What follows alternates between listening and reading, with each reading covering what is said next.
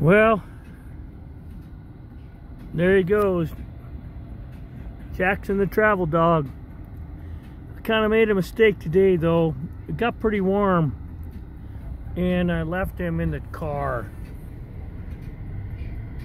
And when I got back, he was pretty panting. I guess I don't know. I, I guess I got to pay attention to uh, all that.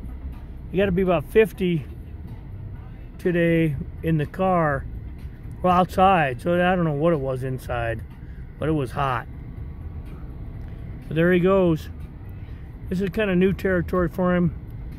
I'm trying to get him to like check it all out. Pretty nice long run down here. You don't got to really worry about picking up the extras if you know what I mean.